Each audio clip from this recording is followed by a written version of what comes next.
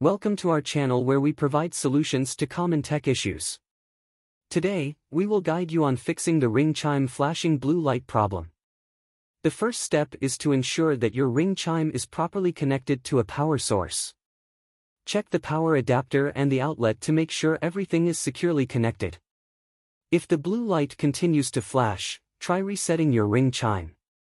Simply press and hold the reset button on the device for 15 seconds until the light stops flashing.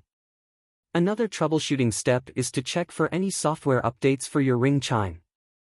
Make sure you have the latest firmware installed to potentially resolve the issue. If none of the above steps work, consider contacting Ring's customer support for further assistance. They may be able to provide additional troubleshooting steps or recommend a replacement if necessary.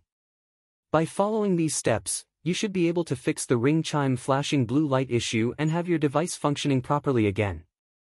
Thank you for watching, and don't forget to subscribe for more tech tips and tutorials.